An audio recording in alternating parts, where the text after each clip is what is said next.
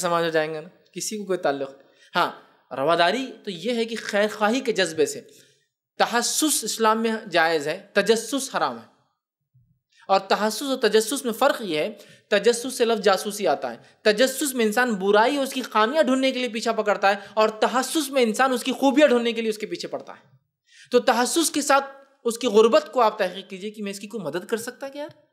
یہ ذرا اچھے کپڑوں پہ نہیں دکھتا، آدمی تو غریب لکھتا ہے۔ سمجھ رہے آپ؟ لیکن یہ ہے تحسس۔ اور تجسس کیا ہے؟ غریب دکھتا نا، کماتا ہوں گا اور لگاتا ہوں گا کہیں بھی، اس لیے ایسا ہے۔ یہ ہے تجسس۔ تو تحسس کے ساتھ کوئی مسئلہ نہیں۔ کہ یار، کچھ نہ کچھ گڑبڑ دکھتی ان کے گھر میں، روز لڑنے کی آواز آتی ہے، اللہ رحم کرے۔ میں کیا مدد کر سکتا ہوں؟ شاید غربت کی وجہ سے ہو رہا ہے۔ شاید نہ سمجھی تو کہ میرے سے کچھ ہوگا نا یار، میں کروں گا۔ یہ ہے تحسس۔ تجسس کیا ہے؟ ارے بہت مزہ آتا ہے یار، لڑتے ہو آج نہیں لڑے، کیا ہوا یار؟ آج کیوں نہیں لڑے؟ آج نیند ہی نہیں آ رہی ہوں لڑے کیوں نہیں ہوں گے آج؟ آج کیا ہوا؟ صبح، ارے کیا ہوا آپ کے گھر میں؟ کل ایسا سب اچھا لگا تھا۔ آپ تھے، نہیں تھے لوگ تھا۔ یہ تجسس ہے، تحسس نہیں۔ سمجھا تو آپ اچھائی کی نیت سے کسی کے حال، احوال پہ نظر رکھنا، یہ تو جائز ہے۔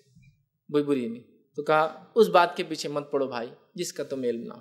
اس لیے کہ کان سے، آنکھوں سے اور دل سے سوال ہونے والا۔ اور روز قیامت حدیث میں آتا ہے، اللہ رب العزت انسان کی زبان کو بند کر دے گا، چونکہ جہنم کو دیکھ کر وہ جھوٹ بکیں گا۔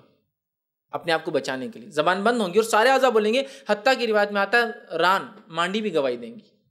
سب اعضا الگ الگ گواہی دیں گے۔ انڈیویجولی وہ بولیں گے۔ آنکھیں دیں گی، کان دیں گا، یہ تو یہیں آ گیا۔ اس لیے کہ کان سے، آنکھوں سے۔ اور دل سے سوال ہونے والا اور اس کے علاوہ حدیث میں آتا ہر اعضا ہاتھ بولیں گے، پیر بولیں گے، یہاں تک کہ ران بھی بولیں گی کیا کیا مجھ سے کیا اور کیسے کیسے ہوگا۔ ٹھیک ہے؟ تو کہا، جواب دینا ہے الائی کا کانا انو مسولہ اور آنکھ اور دل کو، اور آنکھوں کو اللہ رب العزت کے پاس پوچھ کی جانے والی سوال